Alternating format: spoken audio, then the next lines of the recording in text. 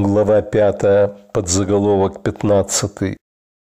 Право на возвращение в кавычках.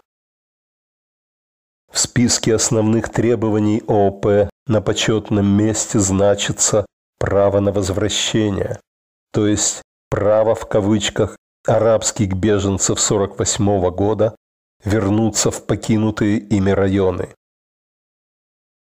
Пестование нелепой надежды на возвращение в сердцах поколений, сменяющих друг друга в лагерях беженцев, является одним из самых циничных и коварных деяний ООП. Лидеры этой организации делали и делают все возможное для того, чтобы обитатели лагерей беженцев считали виновником своего бедственного положения Израиль, а не арабские страны, отказавшиеся абсорбировать их на своей территории. Сохранение лагерей беженцев служит одной единственной цели – предотвратить заживание раны 48 года.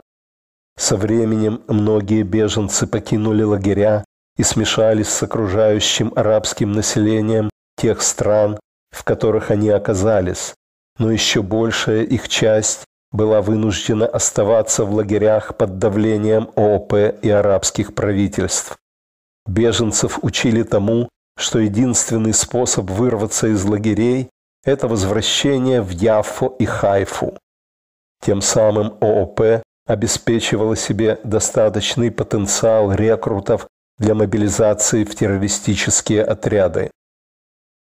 И если после 1967 года имели место искренние попытки решить проблему палестинских беженцев, то они были предприняты Израилем, а не арабскими странами.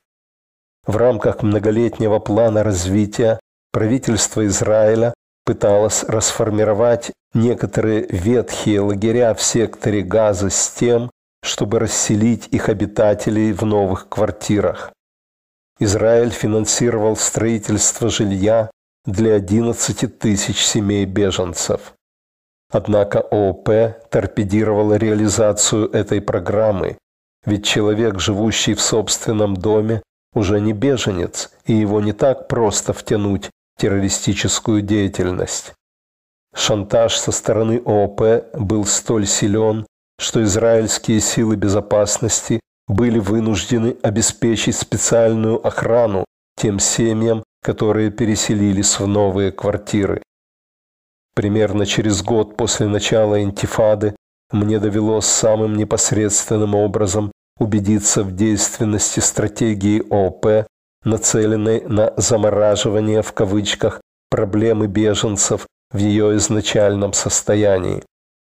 Вскоре после того, как массовые волнения утихли, я посетил расположенный в секторе Газы лагерь беженцев Джебалия.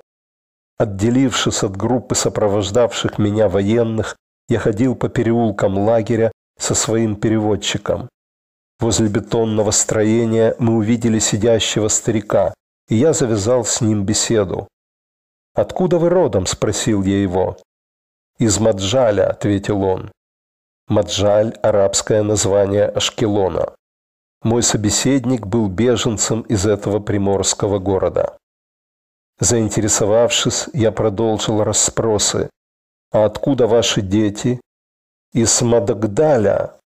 Что ж, мой собеседник был человеком преклонных лет, и его дети вполне могли быть моими сверстниками. Однако что-то заставило меня продолжить. «А откуда ваши внуки?» «Из Мадждаля?» – снова услышал я в ответ. «Вы думаете вернуться в Мадждаль?» «Иншалла», – с Божьей помощью ответил старик. «Настанет мир, и мы вернемся в Мадждаль». «Иншалла», – сказал я ему. «Настанет мир, вы будете ездить в гости в Мадждаль, а мы в Джебалия». Улыбка исчезла с лица моего собеседника, и он произнес убежденно. Нет, мы вернемся в Мадждаль, а вы вернетесь в Польшу. Десятки тысяч беженцев охотно выражают свою надежду на возвращение в беседах со всяким заезжим журналистом, дипломатом, политиком. Таким образом, лагеря беженцев превратились в политическое оружие, которое используется для декларации несуществующего права на возвращение или для возбуждения неприязненного отношения к еврейской репатриации в Израиль. Как можно оправдать ситуацию, утверждают лидеры ООП, при которой араб, родившийся в Яффо, не может вернуться в свой родной город, а еврей из Одессы приезжает в Израиль, где его ждут распростертые объятия сионистов. Напротив, именно арабское возвращение должно стать предметом международных забот и политической опеки. Вот что заявил по этому поводу Хани Эль-Хасан, который занимал до недавнего времени пост помощника Арафата. Проблема, требующая решения, это не иммиграция евреев со всего мира в Палестину, а возвращение туда палестинских беженцев. Арабские страны не пожелают расселить беженцев на своей территории. Следует обеспечить возможность вернуться в Палестину всем беженцам, как 48-го, так и 67-го года. Право на возвращение в кавычках, декларируемое в подражании еврейской мечте о возвращении к Сиону, призвано стать антитезой сионизма. Стороннему наблюдателю предлагается ложная симметрия. Евреи вернулись на свою землю, теперь туда же должны вернуться палестинцы, которые также считают эту страну своей землей. Однако проблема палестинских беженцев 48 года не может рассматриваться в отрыве от проблемы еврейских беженцев, покинувших в тот же период арабские страны. Большинство из них были попросту изгнаны арабами, в то время как большинство палестинцев добровольно покинули Эрц-Исраэль, кто из страха, а кто по призыву арабских правительств, требовавших очистить в кавычках поле боя для армий вторжения. Подробнее об этом говорилось в четвертой главе книги.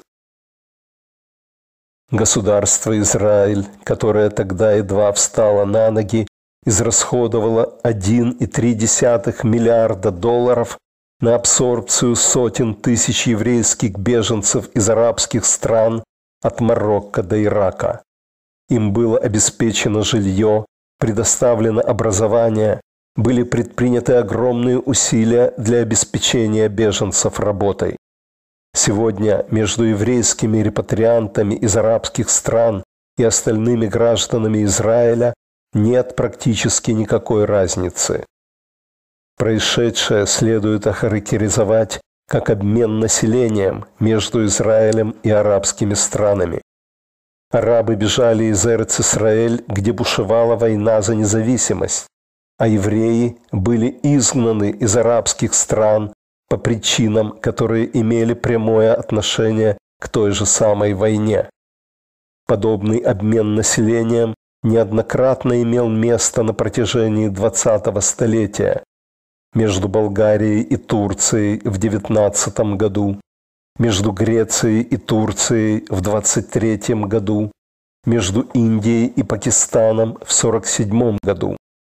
Аналогичный процесс происходит в настоящее время в бывшей Югославии. Ни в одном из случаев совершившегося обмена населением никому не приходило в голову повернуть колесо истории вспять. И уж тем более никто не предлагал вернуть в покинутые районы беженцев только одной стороны.